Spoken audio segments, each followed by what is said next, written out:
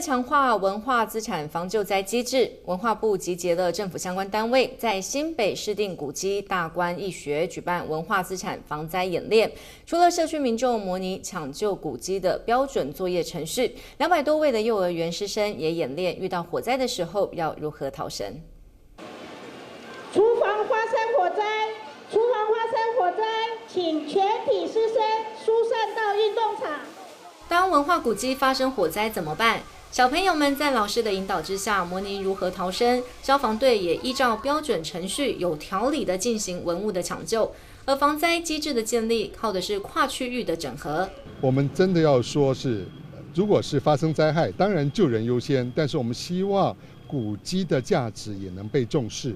那么这样的观念恐怕跟一般的救火救灾是不太一样的，所以我们希望透过演练，让这样子。呃，人与古迹并重的观念能够深化，能够被重视。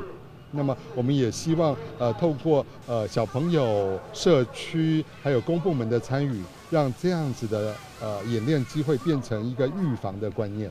文化资产的抢救和一般防救灾不同，这次演练展示以喷洒水雾方式救火，避免强力水柱直接冲击古迹，造成二次伤害。啊，目前各位可以看到前方部署的水线。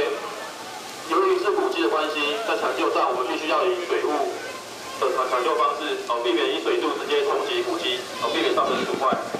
而重要文物的抢救是保存古迹价值的关键作业，因此在火势控制之后，也应由消防人员会同文资专业人员进入火场处理残火，实施相关的防护措施，以避免不必要的文物资产灾损。